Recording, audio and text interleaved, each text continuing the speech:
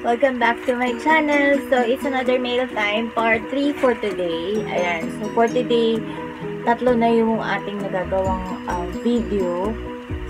Kaya, etong item na to, na-receive ko naman to from sis um, Jean or sis Jenny. Ayan.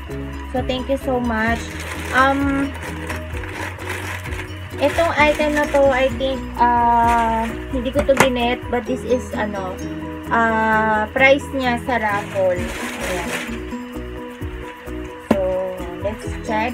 Nanalo ako sa raffle niya, kaya, um, meron akong package na na-receive.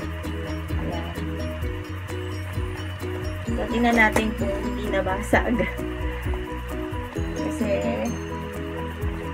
minsan alam nyo naman madaling mabasag yung mga ganito pag walang mga packs. Pero so far, maganda naman yung packaging niya. Naka-bubble wrap siya. Tapos, um, yeah. So, dalawang beses to eh. Dalawang beses akong nanalo. Sad lang kasi walang Hello Kitty. Hindi ako nanalo ng Hello Kitty. So, ibang character to at saka ibang item.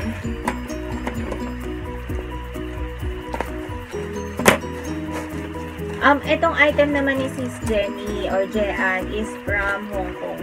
Ayan.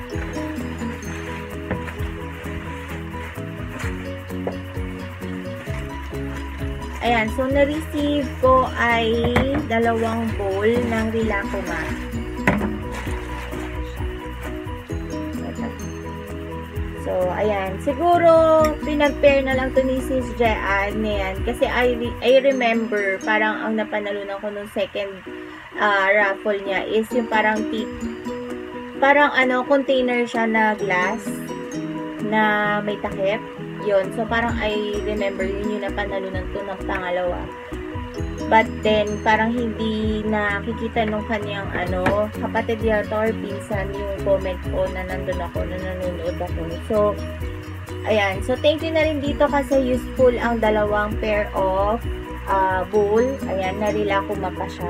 So, thank you so much. Ayan.